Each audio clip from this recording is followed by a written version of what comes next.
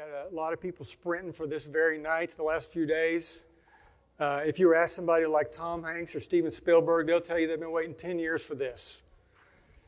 If you ask this cat named Don Miller, who wrote this book, he'll, be tell, he'll tell you he's been waiting 20 years for this.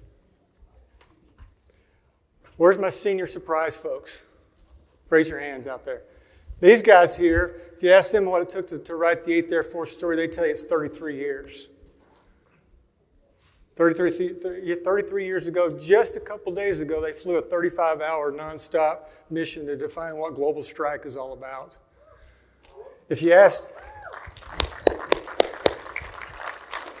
if you ask this front row over here that has John Luckadoo sitting here at, at, the honor seat, and we asked him, how many years did it take to write the 8th Air Force story? He'd tell you 82 years. So, welcome again. So, we've all been in military things. We got to we got to go through the honor rolls over here to recognize all the great, distinguished folks we have on this side militarily and with our, our, our community support. But over here is the, you know, the folks that we're here to honor, that are part of this story that we're going to see later tonight. What we're going to do is we are going to have a, a speaker. Again, John Luckadoo. He's, he'll tell you that he's 101 and three quarters. And we'll get about uh, eight to 10 minutes out of, out of John, and he'll, he'll be able to really regale us and get us ready for the show. We'll watch the show. So that's a watch talk, and then we'll end with another talk where we have uh, Miss Chloe Melas. She's an NBC correspondent, but also the granddaughter of Frank Murphy, who's depicted in about episode five and through the end of the nine episodes for Masters of the Air. And her grandfather wrote this book called Luck of the Draw. We'll talk about that a little bit later. All right, so here we go. Let's applause on the first one. Then we'll hold our applause to a little bit for a little bit, and then we'll come and applause for the for the honorees. Good enough? All right. The first person we are applauding. It's the Honorable Rick Perry, 47th Governor of Texas, 12th Energy Secretary for the Trump administration, former Air Force KC 135 pilot, husband, father, grandfather, Christian, Honorable Rick Perry.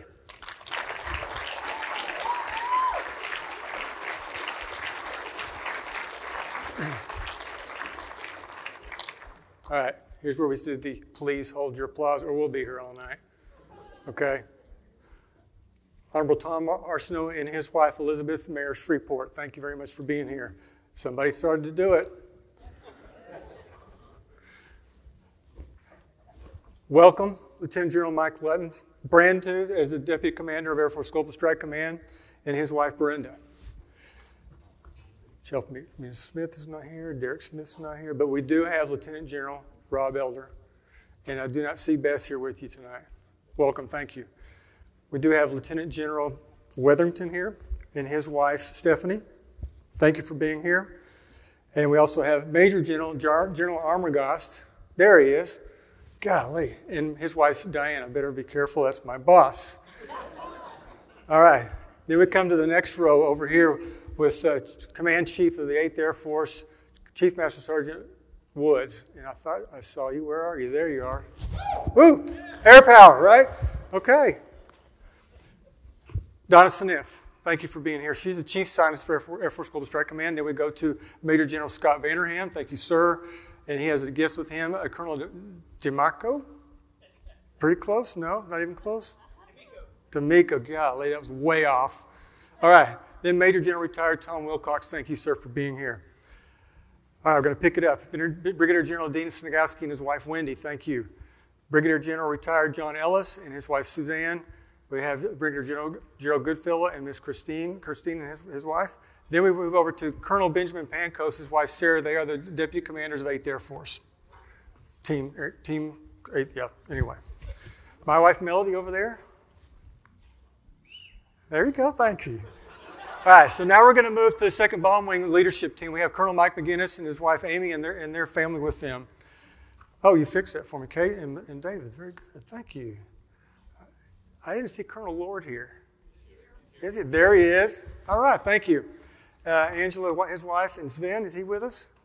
There he is. Thank you. All right, and then we have Chief Jimmy Wilfon, the command chief for 2nd Bomb Wing, and his wife Tammy. Director of Staff uh, Mark Gear and his wife, retired Colonel Susan Gear. Colonel Mike Pontius, I haven't seen Party Boy. No? That's his call sign. Pretty good one, I like it. All right, you're not here. All right, then community partners with MAC and Committee of uh, 8th Air Force Consultation Committee and some Committee 100 folks.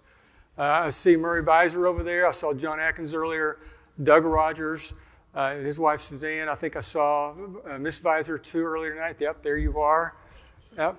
Uh, Kathy French, George Fritz, uh, Dr. John, John George. I saw you around early, and your, and your wife Nicole. So thank you for coming. Let's give the shout out to them. They did a lot to make this possible, to, uh, to um, help out our, our, our, team, our visitors with dinner the other night. So, again, to the MAC and the 8th Air Force Consultation Committee, let's stop for an applause for them. You please applause.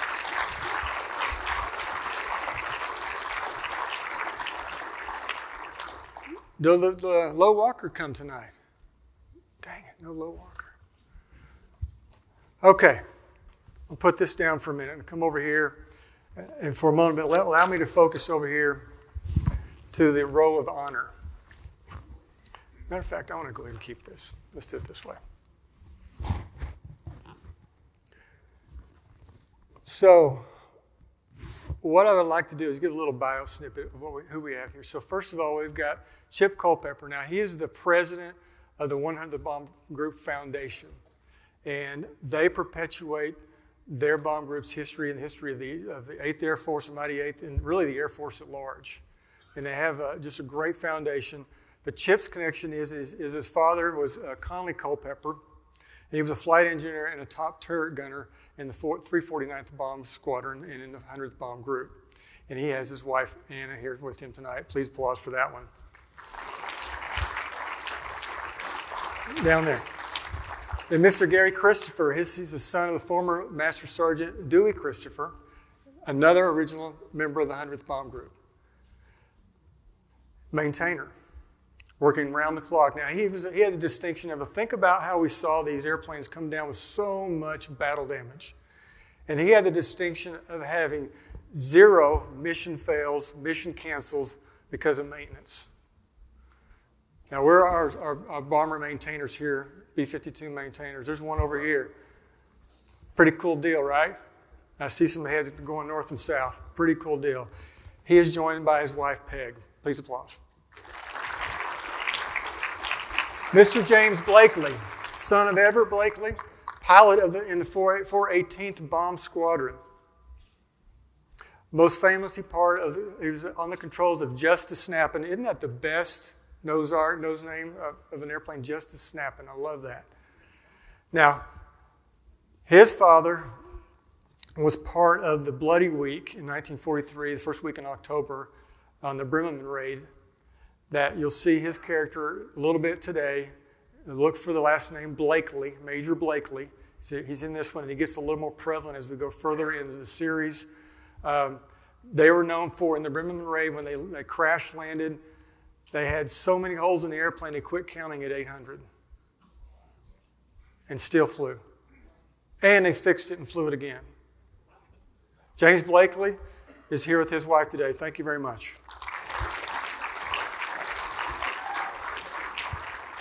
Now, we have members of the Fuller family, and they're, they're, they're a bunch of them, so I'm not going to go through them individually, but um, Lieutenant Fuller, co pilot, 418th also, 30 combat missions. 30. My goodness. We're joined by daughter Martha, her husband Buzzy, love that, and her brothers Scott, Todd, wife Mary, and Thad. Thank you.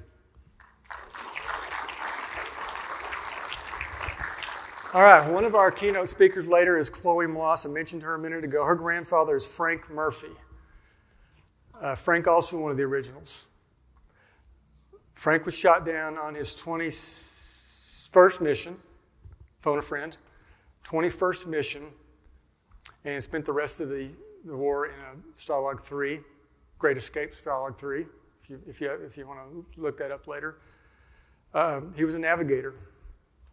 And then um, By the way, I already talked about the book. Now, one point I didn't make about Masters of the Air book, obviously the, the movie's based on that as much as we got it based, but it's a lot of that book, the movie was taken from this book that we talked about earlier.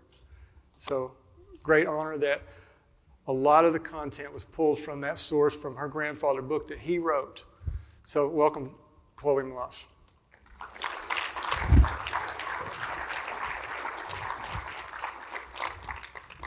I'll say a little bit about uh, Mr. Luckadoo now. Uh, again, served as a co-pilot in the 100th Bomb Group, one of the originals, 25 missions. Got kind of separated from his crew for a while. They finished ahead of him. He had to stay a little bit longer to finish his 25 cruise. He was also part of the Bloody Week. Uh, so he's, he's, seen, he's seen it all. We'll talk more about that later. And then, uh, guess what? Who writes a book when they're 98 years old? Lucky Luckadoo does. All right. So that's uh, we spent a lot of time on that, but that is so important to, to honor those that came here on the military side, but more importantly to help us understand what we got over here. Great people, heroes, heroes all around. So right now I'd like to introduce my boss, Major General Jason Armagost. Please come.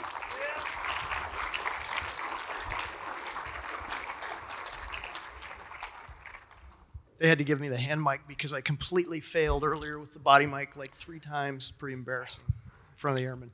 Um, so, in the last 24 hours, I have got to do two of the most unbelievable things in my life, which was to spend a dinner last night with some of these folks here um, and just have conversations and hear stories uh, that were some of the most incredible things I will ever uh, take with me. Uh, all centered around ultimately, I think, uh, our very special guest, Mr. John Lucky Luckadoo, uh, who uh, you'll get to hear from, and I think you will find that he is uh, uh, what I said earlier to the airmen, um, and I, I, threw some Aristotle at him, which is really popular with the younger crowd. Mike, Mike knows knows my game, but uh, I talked about you know you spent a lot of time talking about courage and justice and wisdom and the things that uh, philosophies trying to figure out for us. But the most interesting part of Aristotle, I think, is the concept of the, uh, the great souled man or someone who is magnanimous. Um, and you don't meet them every day. They're, they are, uh, when you do come across someone like that, you, you, you never forget it. Um, you immediately know it, and it just it builds upon itself as you go. And that's uh, no doubt in my mind that a great souled man sits with us tonight in John Lucky Luckadoo. Uh, and the fact that I got to spend time with you uh, and hear your stories, and I wish he could tell every single one of them, but I will tell you this when he talks, if you read this book, and I, I cannot recommend this highly enough, um, that's John Lucky Luckadoo on the pages of that book. So thank you, sir, for the time I got to spend with you.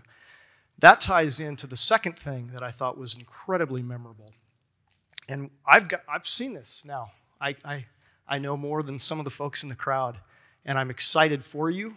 Uh, I, I, know some of the folks here have seen more than just this one, so um, they're excited for you as well. But um, what I tried to do, I was sitting by Lucky during the playing of this, and the opening scene takes place actually in my hometown of Kearney, Nebraska. And uh, I leaned over to Lucky at the beginning and I said, I never saw a woman in Kearney, Nebraska that looked like that. and I think you'll know what I'm talking about when it starts. Um, and Lucky laughed pretty hard. But he, he had some good comments back and forth through the showing of the, of the first episode. And I, I was gripped. Um, raise your hand, please, if you are an air crew. Former, current. Some of you aren't raising your hand. There it is. I was waiting for you, Governor. Okay, here's what I know you're going to see in this episode. And because, again, I was watching the airmen quite often when the show was playing to see their reaction. You're going to see no matter when you flew, no matter what airplane you flew, no matter if it was a single seat or a crew aircraft or combat, ISR, doesn't matter. You're going to see things in these episodes that they took great care with the help of these people to get right. And I'm sure Lucky will tell you what Tom Hanks said to him about getting it right.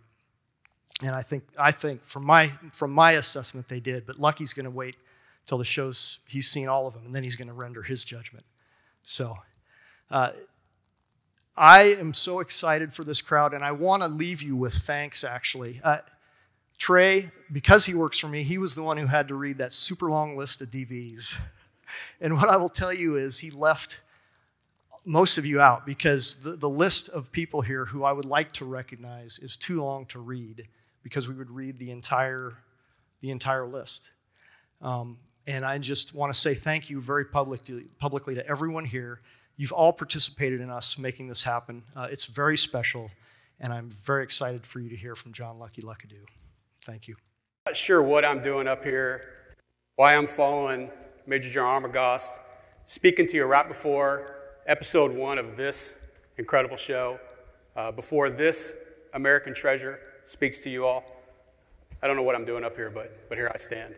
Uh, so, first thing I want to do is say a couple things. And you, have got the thanks uh, from some of the groups, but there are some other really important groups in this room right now. Uh, the first things I want to say are to our military kids. We have some military kids out here? I know we do. I saw y'all coming in. Look, as someone who grew up as a military kid, I have a couple uh, kids myself. I, I, know the life of a military kid. Thank you for all that you do. Uh, we're glad you're here with us today, and hopefully you learn a thing or two about uh, your Air Force and your history. Uh, also, I want to say thanks to our military spouses. I know we have some of you in here as well. Where you at? Raise your hands. Thanks for all that you do. Uh, as someone who has been married for uh, 23 years, I know the things my wife has given up for me to serve, so I appreciate y'all. Look, so as I watch the first episode, here's some things I'm going to think about. Two things. Number one is I'm going to geek out. I haven't seen it yet, but I'm going to geek out. I know without a doubt. Um, I, I, did that when Band of Brothers came out 22 years ago. I geeked out. So hopefully you do that. The second thing I'm going to do is I'm going to find myself wondering what story is our generation going to tell? I'm going to find myself wondering that without a doubt. What story are we going to tell? When we, when we fast forward into the future? What are they going to say about us? To the airmen out here, I'm telling you right now, you're making a significant mark on history. You just don't even know it. The, the military, for a long time, since its existence uh, in this country, has had ordinary Americans that just simply do extraordinary things.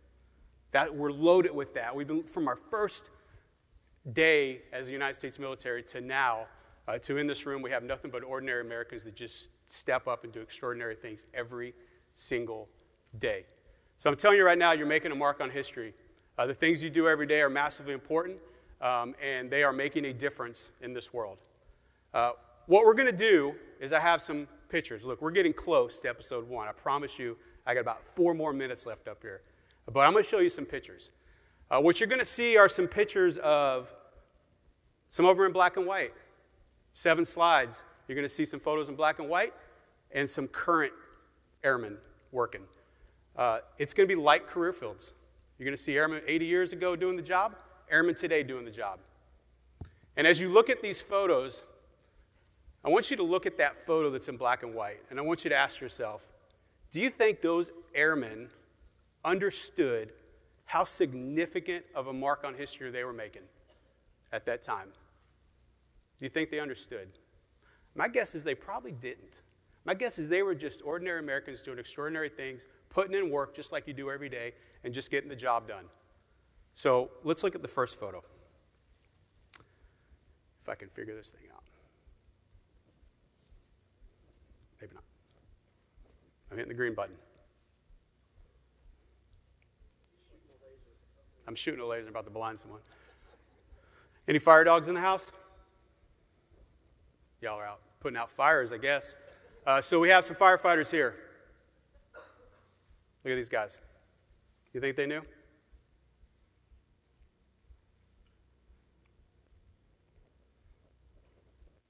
What about these guys? Muns. Any Muns airmen in here?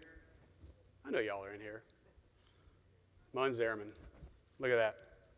Putting in work. Extraordinary, extraordinary work. Any POL? We got somebody POL? All right, there we go. POL. Do you think they knew? Defenders. There we go. Got some defenders. As someone who grew up in the Air Force as a defender myself, I have much respect for this. Um, okay, I don't know about that weapon on the left, uh, but uh, I'm glad we've advanced our weapons a little bit. But it got the job done, without a doubt. Honor Guard, hey, these are our, silent professionals, put in work every day, and they've been doing it forever. 80 years ago, still stand and watch. Little air traffic controllers. Any ATC in here? All right, so the uh, one more here munitions. Our weapons, folks. There we go. Finally, some weapons. All right, last photo here. And I'm going to pause on this one. All right, so look at the top. Look at the top. Look at that, look at that aircraft sitting there and those maintainers. This is a maintenance photo working on, on, on this aircraft, this B 24. Uh, first off, let's, let's respect this aircraft. Uh, Shoot Luke is the name of it. Look at the nose art on that thing. Let's, let's so much respect for the nose art back then. This is an old timer leaning up against a tree holding a shotgun, got a bottle of whiskey at his feet. Much respect to the nose art of that aircraft. But do you think these maintainers that were standing on this aircraft, that are working on this aircraft, understood that that plane was going to fly over 40 missions in the European theater and have a significant impact on the war? Do you think they thought that as they were there working on it?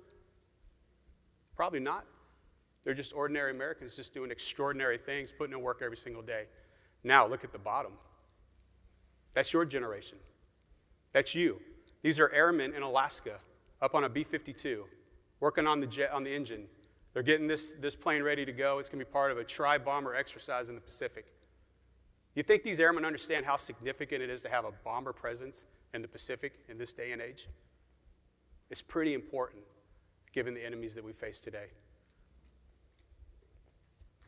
Look, so in closing here, I said it the military is loaded with ordinary Americans that do extraordinary things. Uh, without a doubt, we have tons of you in this room. I see it around the base every day. Uh, my question to you is 80 years from now, when Hollywood writes our story, what are they going to say about us? What's our story going to be? So, as you watch it, I want you to reflect on that a little bit. Uh, from what I've seen, we're telling a pretty good story already. Uh, we do amazing things every day, and I thank you for all that you do for this country. Uh, and I really, really hope you enjoy episode one and geek out on it just a little bit like I'm going to. I really feel like I'm swinging, singing to the choir today to be meeting with you, fellow 8th Air Force Airmen. It's such a privilege for me to be here with you, and particularly to view this depiction of something of what we did 80 years ago. It's a little bit hard to fathom that as hairy headed college kids, citizen soldiers, we were thrown into battle against a very formidable enemy. The German Air Force, known as the Luftwaffe, was one of the most, if not the most, practiced and experienced air forces in the world. They had been fighting for four years. The Russians on the Western Front, or the Eastern Front, and the British on the Western Front. And they knew what they were doing. We had no idea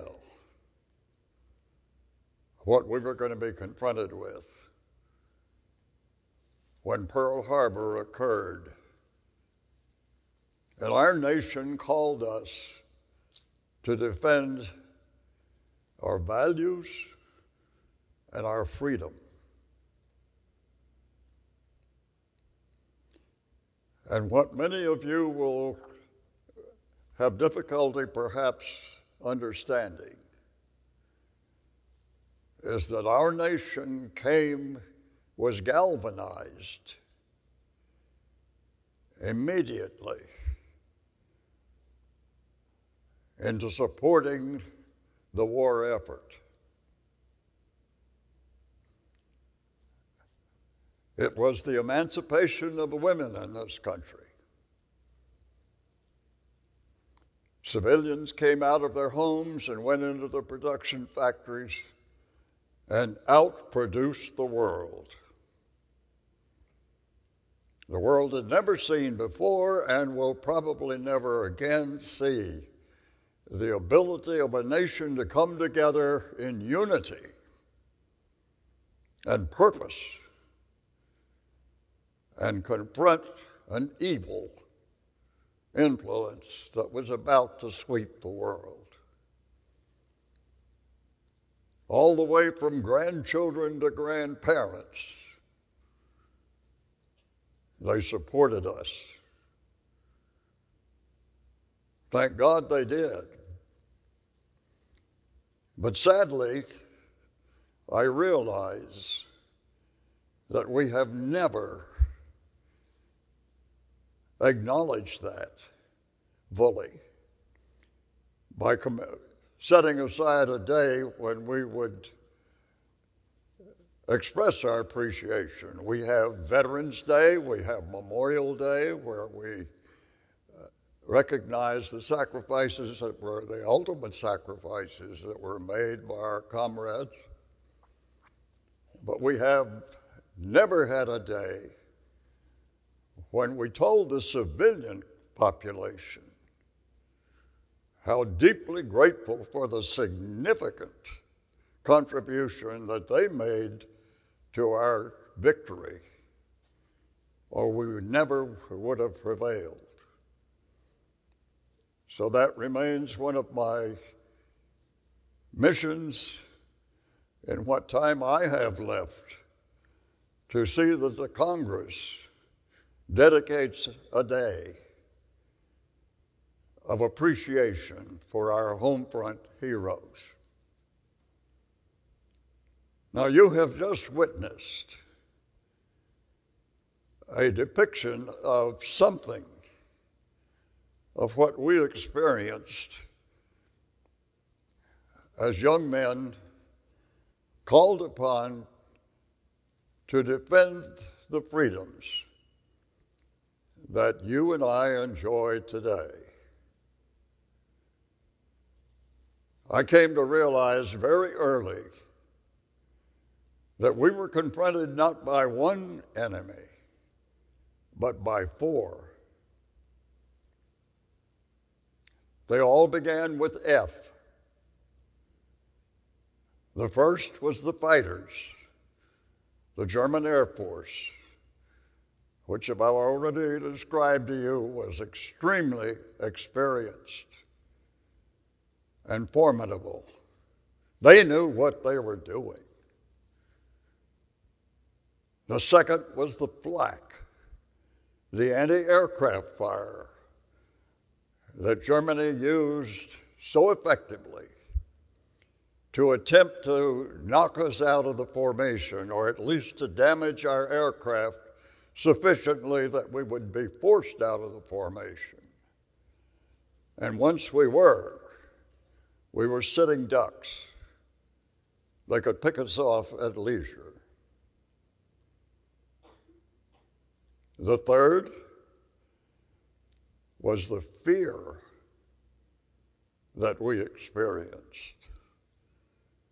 If you said you weren't scared to go against such an enemy, you were lying because you didn't know exactly what you were going to encounter. And the last but not the least was the freezing cold that we endured because all of these B 17s that we were flying were unpressurized, We were bombing from 25 to 29,000 feet at 50 to 60 degrees below zero for hours on end. And you cannot imagine how that impacted our ability to function, to do what we were there to do. The other thing that I would point out to you about this series is that we had to, we all had our demons. We all had our inner thoughts as to what we were confronting and how we would deal with it. Most of us were brought up under the Christian Judeo creed, the Ten Commandments, eight, the six of which uh, thou shalt not kill. And we were ordered to kill or be killed. That was our mission. War is hell. There's no easy way to confront it. But how we manage to psych our way back into those airplanes day after day. I get asked frequently how we did that. And truthfully, I don't know.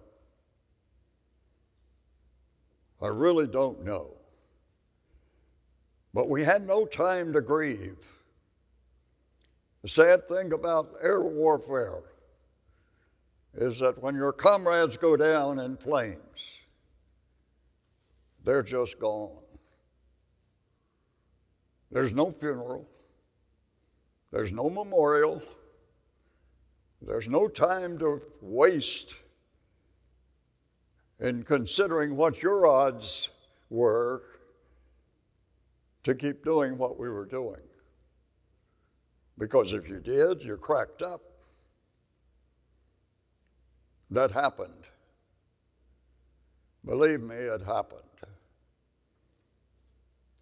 I ended up, after my 22nd mission, as an operations officer of my squadron.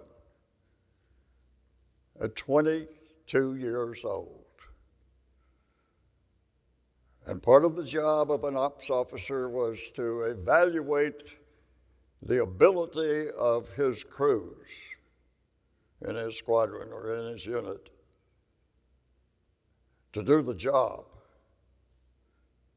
And if in the course of doing it, they were showing signs of weakness or signs of hesitation or signs of psycholo- psychological impact, you had to pull them out of formation. You had to pull them out of, out of duty. So you were a psychiatrist as well as other things. But I hope as you view this series of my group, which, as Colonel Morris has told you, I was a member of the original group that went overseas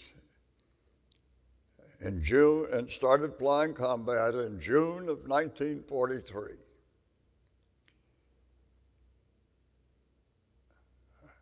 And the reason that uh, these, this series is made about our bomb group, which came to be known as the Bloody Hundredth Bomb Group, is because there were certain things that occurred in the group that didn't occur in other groups. And when Tom Hanks and Steven Spielberg, whom I met last week in Hollywood, when this was premiered, this series was premiered finally after 10 years. Was simply that there were things that happened to this group that I wanted to see how they dealt with it and how they portrayed it. And they wanted desperately to know what I thought about episode one. And I said, Well, uh, with all due respect, I'll reserve my opinion until I've seen them all. There will be nine episodes. And at the end of that, there will also be an afterward that will contain uh, excerpts of some of the interviews that were made from some of us who were there and were able to give them some firsthand eyewitness accounts of what it was like. and they told me when I was first interviewed by the author, Dr. Miller, in 2013, that I wasn't going to be in the movie. And I said, Well, I didn't expect to be in any movie. I said, No, we've hired 21 year olds to impersonate you because that's what you were when you were over there. So, one of the things that I have some difficulty with in, in viewing this is that I know the names and the personalities and the people that are depicted here intimately, lived with them, nearly died with them. But they didn't look like that. they didn't try to replicate their actual appearance. But um, I hope you uh, appreciate, I won't say enjoy, because I don't think that's a proper term for this type of film. But I hope you appreciate when you see this and all of the episodes that there were horrendous sacrifices made, or none of us would be here today. I would not be standing before you if we hadn't done what we were asked and ordered to do.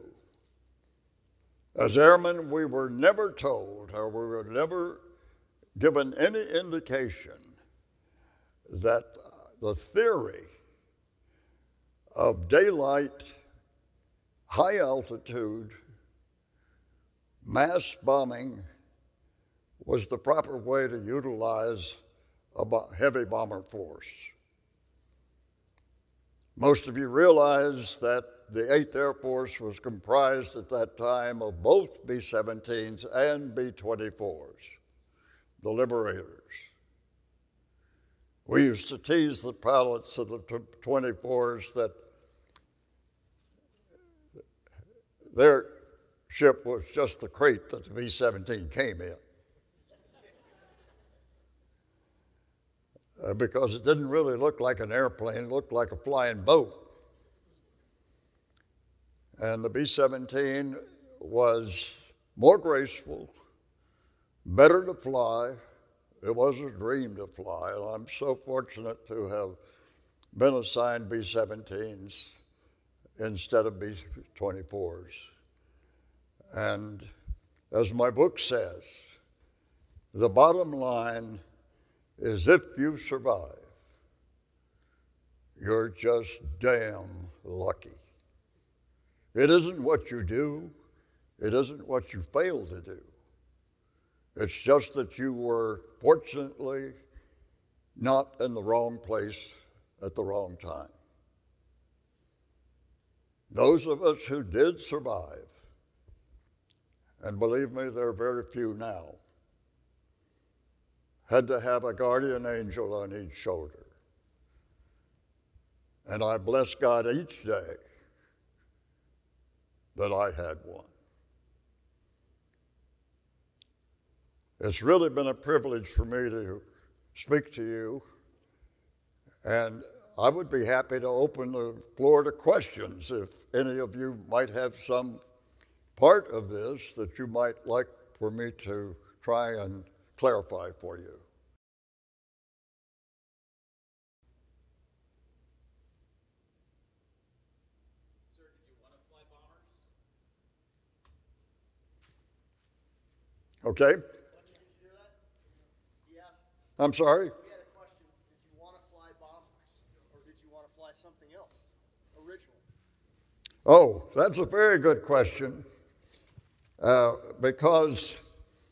I think everybody that joined the Air Force, at least during my period, wanted to be a fighter pilot.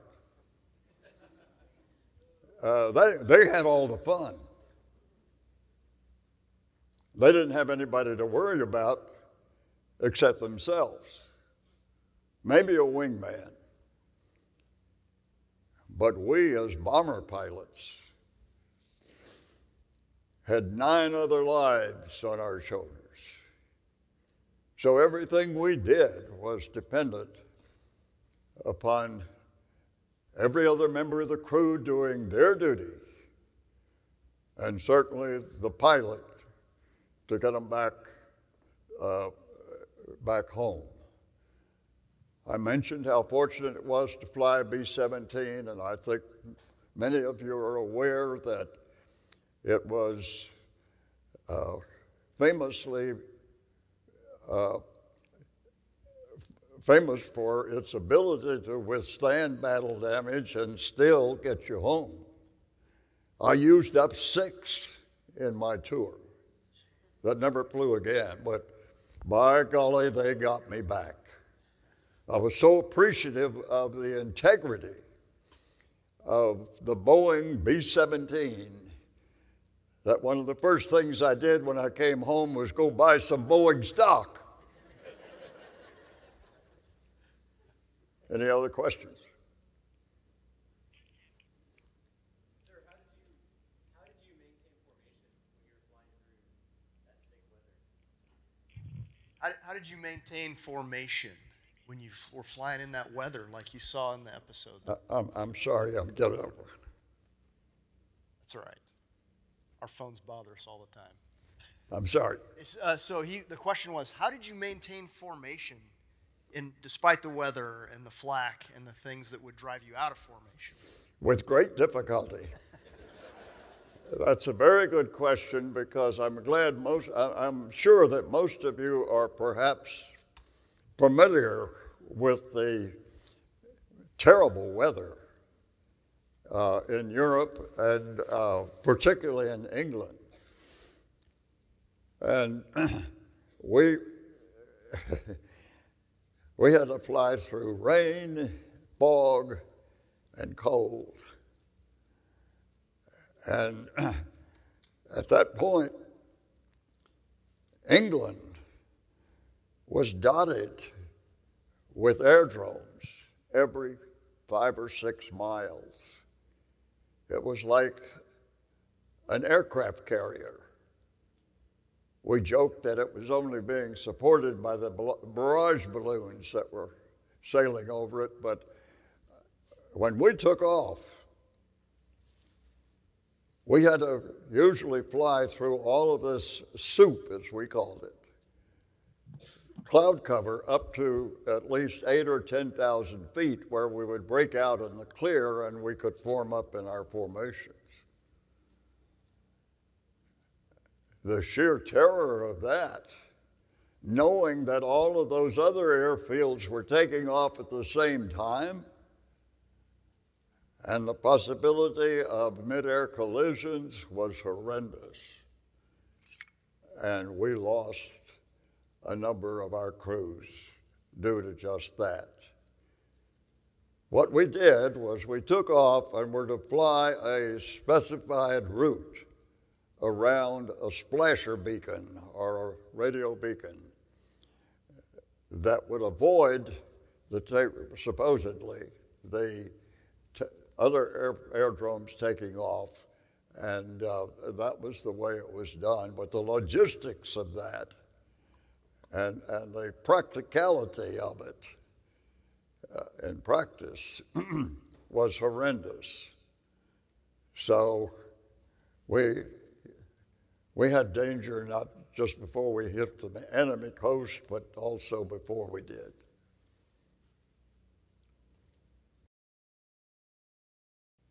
Hey, Lucky, can you tell the story that you told last night about uh, the B 29 you got to fly? The general is speaking about uh, one of my claims to fame now is that I flew the B 29, the Enola Gay, one time. In 1945, after it dropped the bomb on Hiroshima and ended the war,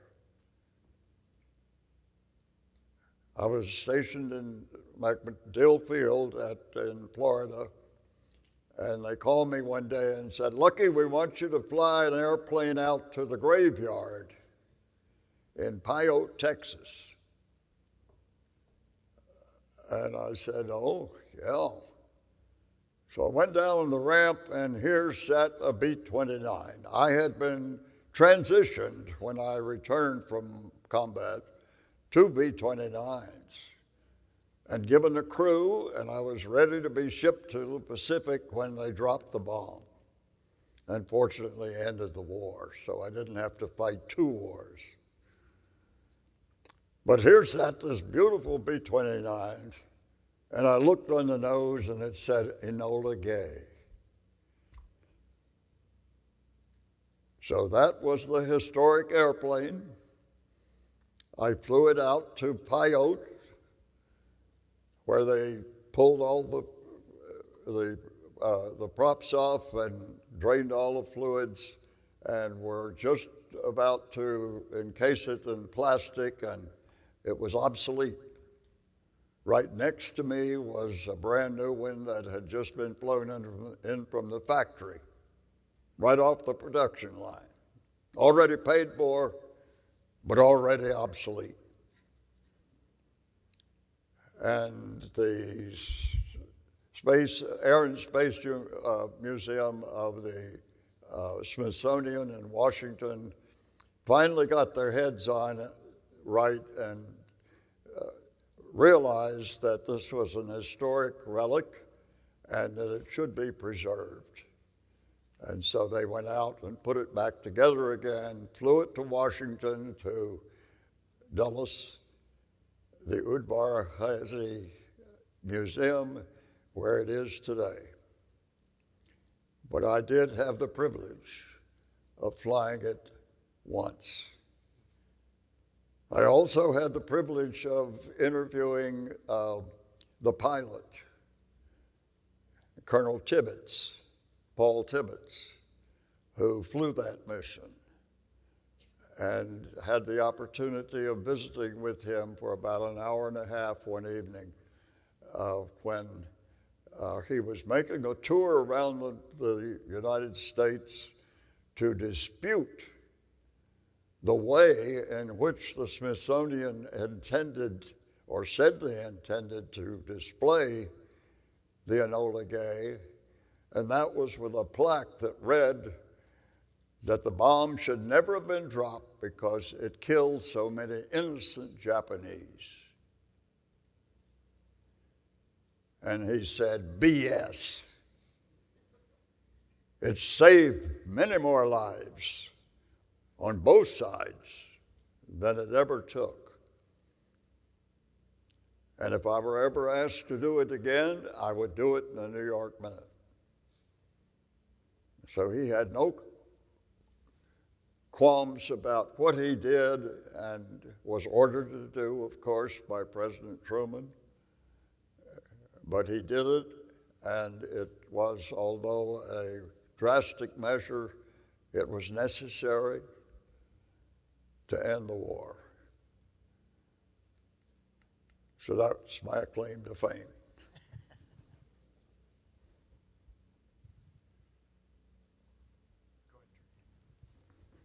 We have five more minutes, so yes, right. please. Ah, sorry, five more minutes. Yeah, right. Lucky, there was a question earlier about did you want to fly bombers, and uh, you said, like, like many other young men, that's what you, you wanted to fly fighters. And uh, I think it's a great story about the time that you did fly a fighter when you were in England if you can tell that story. Uh, I'm sorry, Gary, my hearing is terrible. Yeah, So, when you flew the fighter in England, yeah. Oh, can you tell that story? oh. All right. Gary is referring to uh, the fact that when I graduated from high school with my best friend, we were in ROTC in high school, and we were both pretty militarily grounded. And um, I had aspirations of going to West Point, and, and um, we realized that the war in Europe was really heating up, and that it was only a question of time as to when America was going to become involved. The public perception at that time was that it was a foreign war, it was a halfway around the world, and it wasn't any of our business. And um, therefore, we, we uh, most of the, the majority of people were extremely opposed to our being involved.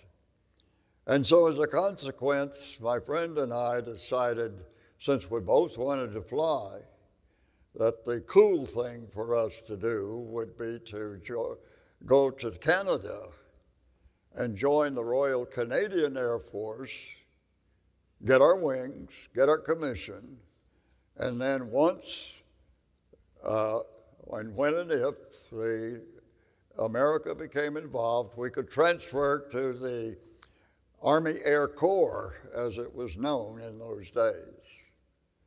And we would already be a jump ahead of all of our comrades, so we thought we were pretty smart. We applied, and the Canadians welcomed us with both arms and said, We'll be more than happy to train you. And here's the application, which we filled out. And at the bottom it said, Because you're underage, you will require parental consent. Uh oh. So, my good friend Sully, whose father had been in the First World War and been mustard gassed, and unfortunately died a very horrible death, and Sully never knew him. So, he was an only child, and um, his mother was raising him. And when we presented our plan to her, she listened very patiently and she said, Well, Sully, if you really honestly feel that this is what you must do, you have my blessing. Well, I thought, fine, um, I should get the same result or answer and uh, response from my family. I presented the, the plan to them or to my mother, and she was so impressed with the fact that Mrs. Sullivan was willing to agree for her only offspring to go to Canada that. Um, she said, Well, I, I, won't stand in your way. I hate to see you do this, but uh, you'll have to convince your father. when my father came home and he heard about it, he said, You blithering idiots don't have any idea what you're doing. This is none of your business. And over my dead body would I ever give you my consent you get back in school. So I went to college, and Sully went to the uh, Canadian Air Force, graduated and was assigned Spitfires, and went through the Egyptian and North African campaigns and was based back in England by the time Pearl Harbor occurred and I went all the way through my cadet training and got commissioned and sent to England as a member of a bomber force.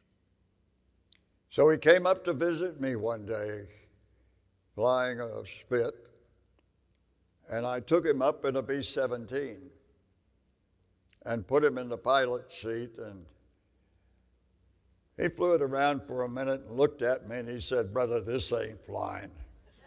You're nothing but a truck driver. and I said, Well, Sully, we need truck drivers in this war too. So uh, he said, Let's land and I'll let you fly my spit. And you'll learn what flying is all about. Well, that was about the most foolish thing that anybody could ever propose and, or do. And we landed. And he put me in the cockpit and started pointing out what their controls were and the instruments because they were so different, vastly different than a B 17 cockpit. And he said, Take her up. It's a piece of cake. I said, No, I'll kill myself. And, no, no, go ahead.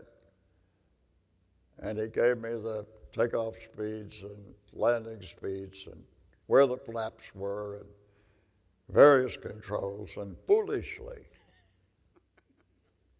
I took it up. And I no sooner got the plane off the ground than I really regretted what I was doing. Uh, but um, fortunately managed to very cautiously and carefully take it around in the pattern and get it back on the ground without cracking it up and killing myself. But uh, that was my experience in flying a fighter, uh, which was a realization of my original uh, uh quest uh, in getting it into the Air Force. But uh, it was um, a, a tough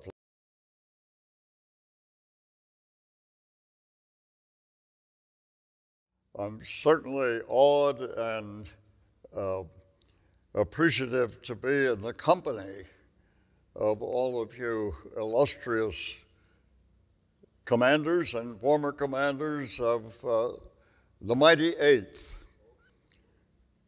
which I was a proud member of for many years, starting in 1943 when I went to England as a member of the Bloody Hundredth Bomb Group. This movie that you're going to witness is the product of uh, Tom Hanks and Steven Spielberg and Gary Gessner, Gessman, uh, who made two others the Band of Brothers and the Pacific, and this is the third of their trilogy and last. It took each of them, it took uh, them uh, on each of the previous ones 10 years, and it took 10 years to produce this product that you will begin to witness tonight. When the book was written on entitled Masters of the Air by Dr. Uh, Donald Miller, a professor in Virginia, who did a beautiful job of describing what the 8th Air Force did during World War II. 600 and something pages.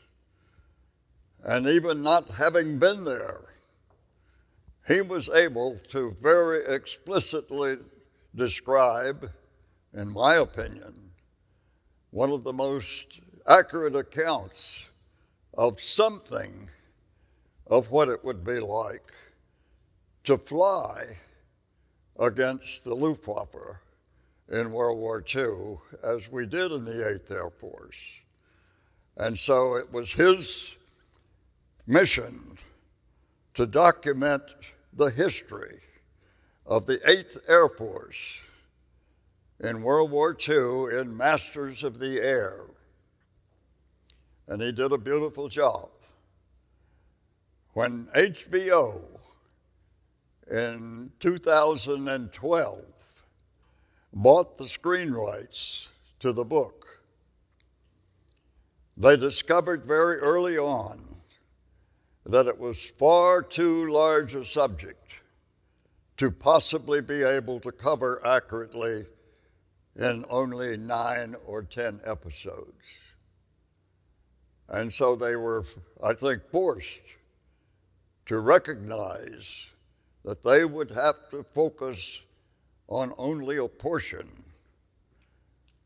And they selected my bomb group, the Bloody Hundredth, to be that focus.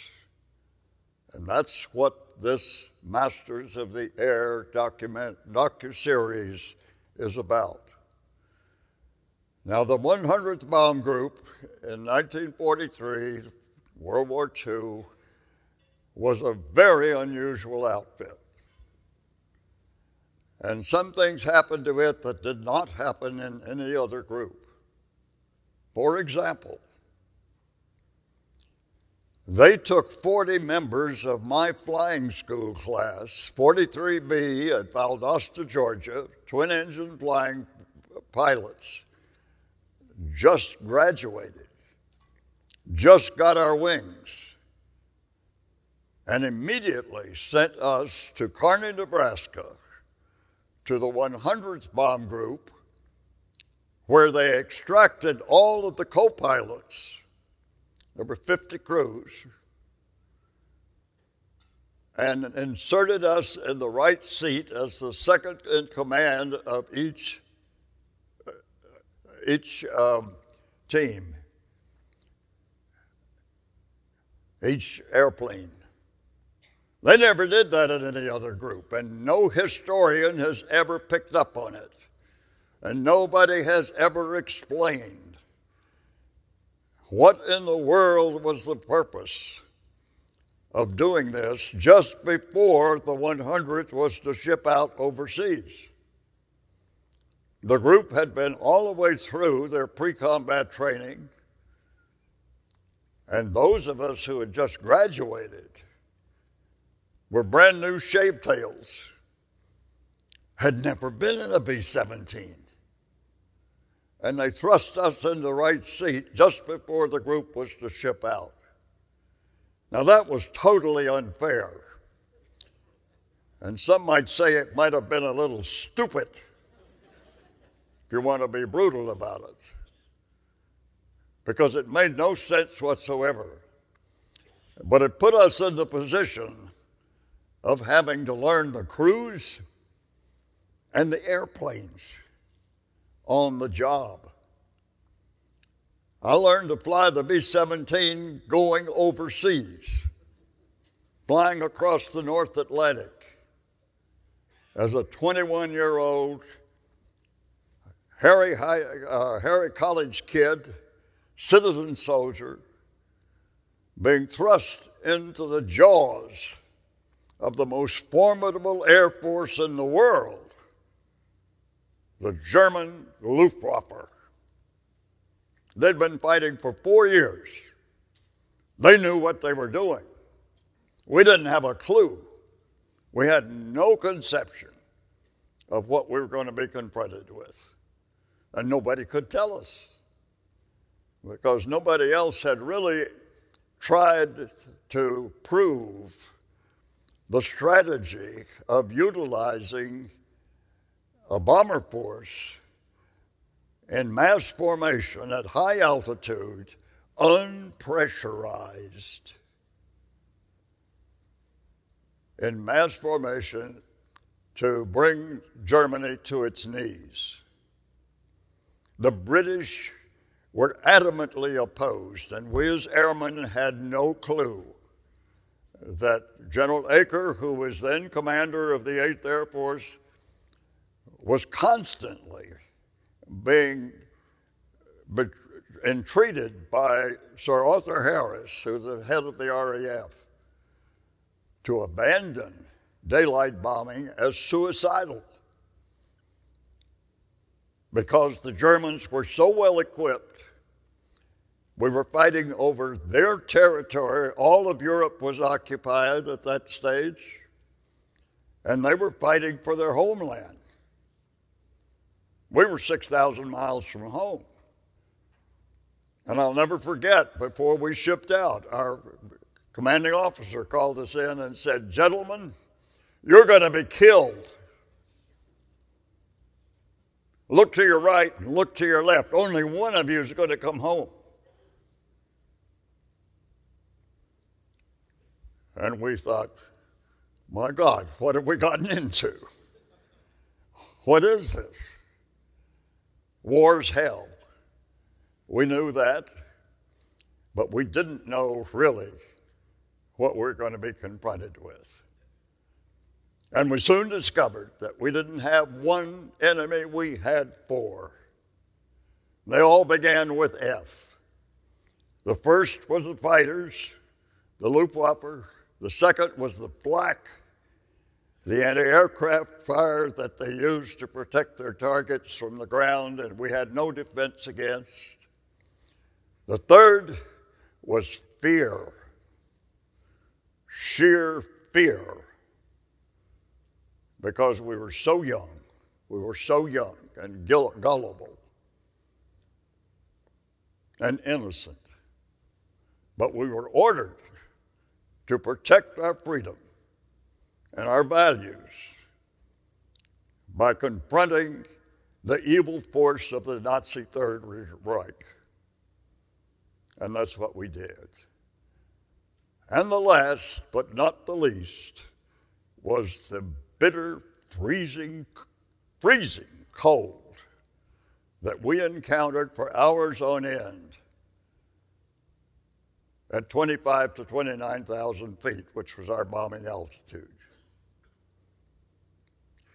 So, this movie is going to attempt to give you some idea of what we, as young, innocent citizen soldiers, encountered in protecting the freedoms that you and I enjoy today, or we wouldn't be here. I would not be standing ahead of, in front of you tonight if it weren't for the fact that we stood up and answered the call. Because that is what our patriotism required. And we did it without hesitation. We're proud that we did, but I have to admit, it was not the smartest thing you could do. But you don't realize, because you weren't born then, that America was galvanized into action when Pearl Harbor occurred on December the 7th of 1941. Up until that time, America was adamantly opposed to the European war and entering it with troops. And President Roosevelt refused the entreaties, the constant entreaties of, of uh, Winston Churchill to join them. But we were doing everything we could besides sending troops. But we, he couldn't send troops and he knew it. But we now know that he knew that Japan was planning to raid and attack the United States. He just didn't know when or where. And when it finally happened, he had his excuse. And so we entered it uh, as patriotic Americans, proud to serve our country, and proud that we did.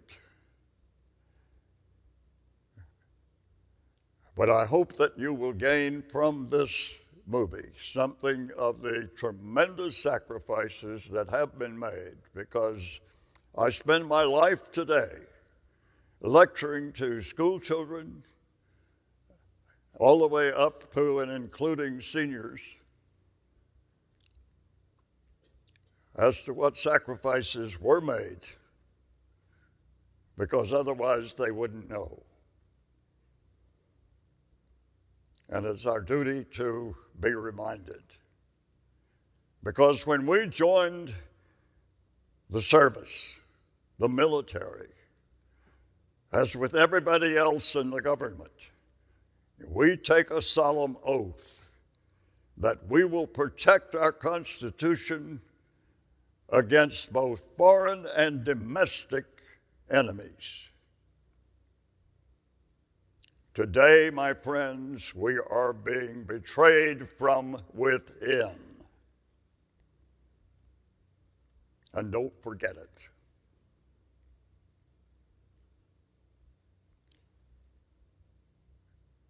That's my sermon for tonight. Uh, I hope I haven't shocked you too much, but uh, uh, it's from the heart. And at the ripe old age of 101 and three quarters, I feel I have the right to let you know how I honestly feel. But I thank you all for being here.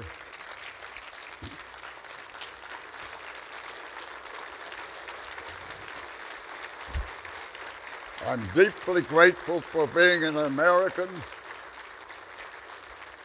and I hope that you are as well. God bless America.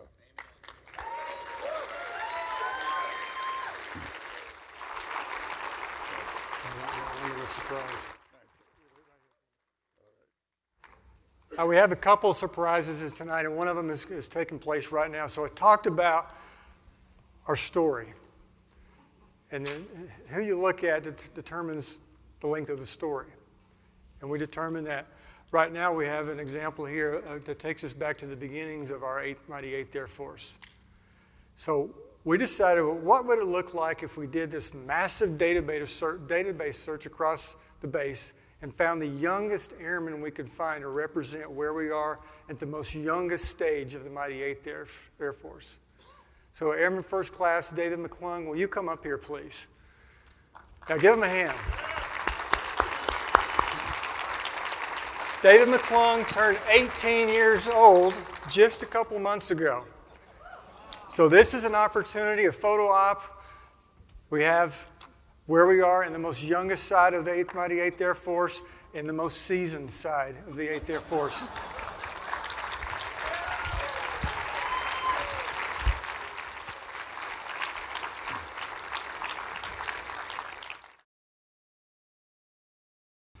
So that was my second time, and I, I, I was just as shaken as the, as the first. What a depiction.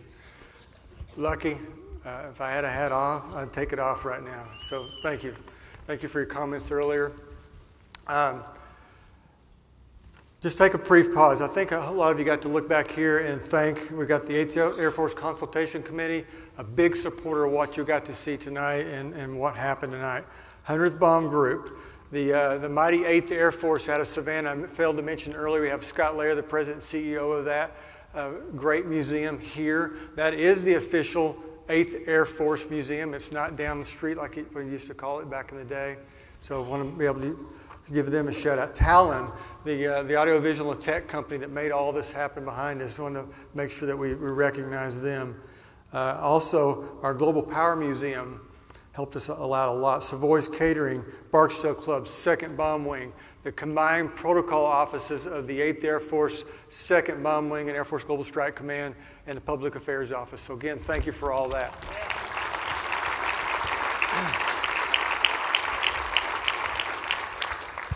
Miss Chloe Melas, would you make your way up here? So, Chloe, again, is the granddaughter of Frank Murphy that we'll see around the episode five, who wrote this book, Luck of the Draw.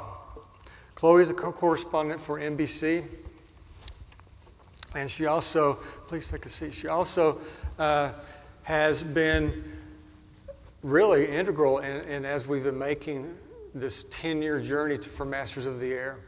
And you've even had the opportunity to be on the set and watch them filming this. So tell us a little bit about that. What was that like? Thank you. Yeah. And because of Lucky, we are now friends. Yes. We met at Lucky's 100th birthday party, and um, Rick Perry is one of my good friends, and you're someone I can call a good friend now, too. So thank, you. you. so much for having me. And to my family who's here tonight John Murphy, the nephew of Frank Murphy, um, his wife Donna, and some of their family members. Um, so just, I'm so happy that they could come. So I wouldn't say that I was integral to the project, but um, I started going to these 100th bomb group reunions um, in my early 20s. I'm 37 now. So I was about 26 years old when I went to my first 100th bomb group reunion in Palm Springs. And it was there that I learned that Don Miller's book was optioned. And I'm a reporter, so I'm nosy. So I flew down to Atlanta to listen to Don Miller speak at the Atlanta History Museum. And he didn't know I was there. And so I'm sitting in the audience with my grandmother, Ann Murphy, who's still alive, who's now 94 years young. And I'm sitting there with my mom and my grandmother. And Don Miller mentions my grandfather. So I thought, this has to be a joke, right? so afterwards, I go and I met him and I shook his hand. And eventually I became one of the board members for the Mighty Eighth Air Force Museum in Pooler, Georgia, that you were just talking about. Um, and so I, I would continue to go to these reunions and I would meet family members that flew with my grandfather, um, their grandchildren, and I found this family that I didn't know I needed and I didn't know out there existed. And it was at these reunions where once a year I would run into these people from Tom Hanks's production company. And the head writer, John Orloff, who wrote some of the episodes of Band of Brothers, Yeah, yeah. I would sit next to him and I would grab lunch and I'd ask him, What are you doing here? And so he was going around interviewing the different veterans. And one day, he shows me luck of the draw. And I probably shouldn't say this, but he shows me luck of the draw, and it didn't look like this. It was a different cover, and it was a book that my grandfather had self published with a friend of his um, in 2001. And I don't know how he had gotten a copy, and it was full of post it notes and highlight notes. And he said to me, You know, your grandfather is a character in this. I said, No. I never wanted to ask you all those years seeing you at these reunions. I never wanted to bother you. Um, and so then that led to me just asking lots of questions about the project. I covered the project uh, when Apple picked it up and when HBO passed on it when it was too expensive for HBO to do, yeah. far too expensive. We still don't know how much this thing costs, but it cost a lot. Um, I've heard it's one of the most expensive TV shows ever made, but I can't necessarily verify that. Um, and then my family, we got to go, and other family members of mine and my husband, we went to England in the pandemic. Um, and I almost didn't think that we would get to go because at that time, when you would go to England, you would have to quarantine for two weeks, and I couldn't be away from my kids for that long. And at the time, they were very little. Um, so during this period of time, I have an agent, which sounds bougie, but it's just a headhunter in journalism world, and and I'm not bougie. And um, I said, listen, my grandfather wrote this book, and there's this TV show coming out. I really think that we. Sorry, I keep talking, but I said I really think we should publish this book. So I sent them some copies, and they said, okay, look, we can give it a try. We can see if a publisher might be interested. There's this book by a man named John Lucky Luckadoo that's doing really well, and it's called Damn Lucky, and it was published by St. Martin's. Let's try them. So they read Luck of the Draw, and they said, definitely, if it's half as good as Lucky's book, we'll be interested. So they bought Luck of the Draw, and I spent the next three years helping them put it together. The book had been written on a typewriter, so there was no file anywhere digitally. I had to go find all the photos, and I went home to Atlanta one weekend and I was looking for all the pictures in my grandmother's storage unit and in her basement. And I was in tears, and I was like, I can't find the photos for the book. I don't know what I'm going to do. I don't know how we're going to find all these photos. And she's sit- sitting in her wheelchair, and she says, Did you try the guest room? And I said, What? So I went in the guest room, and I swear to God, like the light was coming in from the window, and on the desk was a box, and on the box it said, Photos for Luck of the Draw. I was, I was like happy and royally pissed.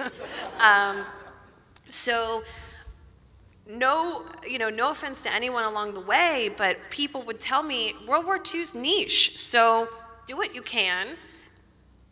You know, I'm sure it'll do okay, but don't put, you know, don't don't put your heart and soul behind this because you know it's not going to become a New York Times Yeah, bestseller you'll just be disappointed. you don't want to we don't want to set you up for sadness. And they were just being realistic. And i learned about something called the hawkins scale of emotional intelligence like just recently. But i must have been operating on some level of like gratitude and just love for my grandfather because i loved him so much he was just the kindest kindest human being never raised his voice was someone that we could always all go to with any of our issues and um, the book comes out February of last year, and thanks to people like Rick Perry and thanks to people like Tom Hanks, who gave a great quote for the front of the book, the book in its first week became a New York Times bestseller, number eight.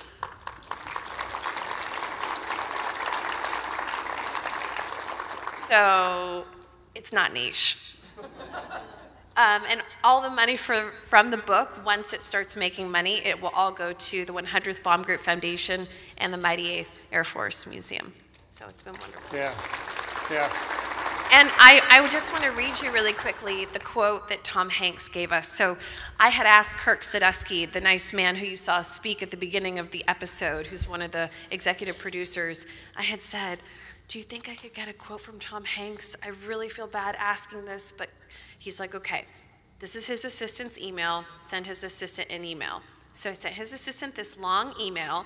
I was like, should I send him a typewriter? I heard he likes typewriters. Like, what do you give Tom Hanks? What do I do? They're like, no, just send him a note.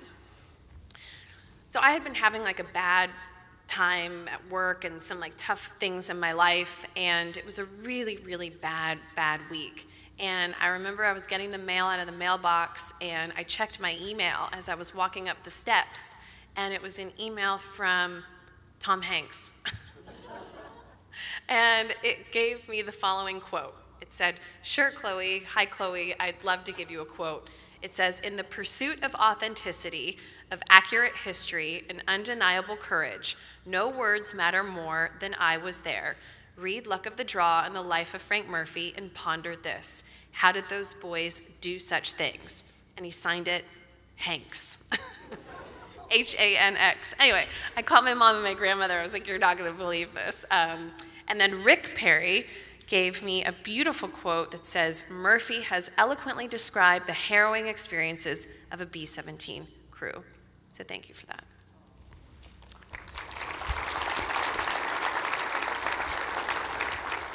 So I grabbed this from you because uh, you know there's a favorite passage in the back of this book that uh, towards the end that, that really epitomizes some of the words that Lucky talked about earlier about we didn't think about it, we just did it. It was, it was an obligation.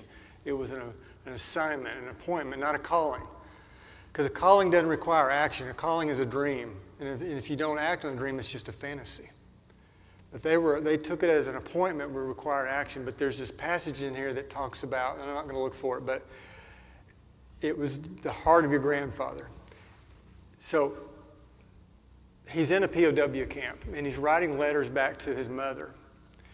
And this man is apologizing to his mother, asking, at that time you could do Red Cross shipments and you could do things of that, and you could get things from your family in a, in a, in a POW camp in Germany. And this man was apologizing to his mom for being such a burden. What? And it just I, it has stuck to me this day. So um, we saw a little bit of that in the previews just a moment, the, the POW camps. And I understand that you got to travel there and see what this looked like and the reality of it and the smells and the taste of it, even in the air. Can you, can you put some of journalism to that for us and describe that, what that was like? Yeah, so these sets are so big that they were hours apart from each other. So we flew to London and we drove up to northern England, a few hours north, probably not that far away from Thorpe Abbotts, which I've had the pleasure of going to a couple times, and it looks just like that. Um, right, Lucky? I think so. Um, and then they took us by bus to, after the COVID protocol and everything. We went to the recreation of Stalag Luft 3. And it is literally the prison camp to scale. Um, you go inside and you're inside their, their prisoner of war barracks and every single thing on every single table, whether it's dominoes or whether it's Red Cross parcels or whether it's a cigarette butt, it's all perfectly done by these set organizers, I mean, these set designers and these people and these historians that were a part of this project. The attention to detail is unbelievable. The fake snow, it's fake. The fake, or at least the snow I saw was fake, but it's amazing. it looks so real, and it was cold. Um, and just to be on set, I know that they have over 300 speaking parts in this show. They did over 3,000 costume fittings and they stopped counting at 3,000. And it's designed, the costumes, by Colleen Atwood, who's this famous Oscar winning um, costume designer. And you know, I, all I can tell you is this, is that John Orloff and all of the people who are part of this project, they tried so hard to get it right. They, every single mission that you see from Regensburg to Munster to Bremen, every single plane that goes down is not just a plane. That is the actual plane that went down and how it went down. So if the left wing or one of the engines is on fire, that is the exact engine that was on fire. That's how much attention to detail they gave to this project. Um, not everyone is going to be happy because they're going to find little issues with this or little issues with that, but it was such a labor of love from so many people, and it's been so fun to be a part of it um, and do my small little part and try to get it some attention. I've, um, which I don't need to be doing because it can do it on its own. But I interviewed John Orloff and some people for a piece that comes out next week on NBC, and um, the actors will be on the Today Show next week as well. Some of them, and then the best part is this, to me because I'm biased. So there's nine episodes. The finale is on March 15th, and that same night, a documentary comes out, and it's the men behind the show. Lucky is in this documentary, and so is my grandfather, and you will hear from him and these men um, in their own words. Awesome, awesome. You mentioned the raids, the raids of the, of the week. Can you provide a little bit what we might see later on in the mini-series of which was the specific raid that was the, the day that Frank Murphy, your grandfather, So you'll see Regensburg, you'll also see Munster, and all of these took place during Black Week. Um, I believe it was October 6th to October October 8th to October 13th. He was there, so he would know. Um, I do all these podcasts and stuff, and I'm like, I wasn't there. I'm trying so hard. I'm no historian over here, so I'm sure I'm like, I hope my grandfather's happy with, the, with what I'm doing. I'm, I'm trying so hard. And of all his seven grandchildren, I was the one playing Barbies, not listening to the stories about World War II. He'd be shocked that, that it's me here in front of you, okay? Um, and then I think, you know, obviously you'll see Stalag Luft 3, but then you'll see something that has been a very precious story in my life of bravery and courage, which is the march as the Russians are approaching.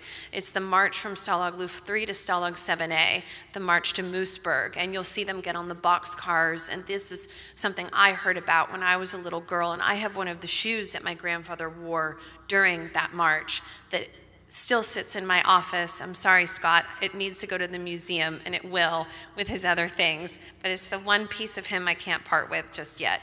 Um, and I don't want to give away too much, but you'll see how they're liberated in the end. You'll learn about Rosie Rosenthal. He's the only plane that came back on the day of the Munster mission. Out of all the planes that were shot down, only one came back. And the irony is that now I'm friends with his son, Dan Rosenthal. How fun that it all comes full circle. Um, You'll see uh, Everett Blakely um, in the show, and the Blakelys are here tonight, which is wonderful. And then you'll also see what happens to those that suffer from post traumatic stress, something that Rick Perry and I talk about a lot, and something that Rick has dedicated uh, his life Yes, to after yeah. serving our country and all the wonderful ways that he's, he has. And back then, how they called it shell shock, and they didn't know what it was, and they would send them to something called a flak house. And you'll see what a flak house is and how they dealt with seeing so much death and how they dealt with that trauma. Um, and you know, some romance is in there too, but it's PG enough that I think your kids can watch it. So. All right.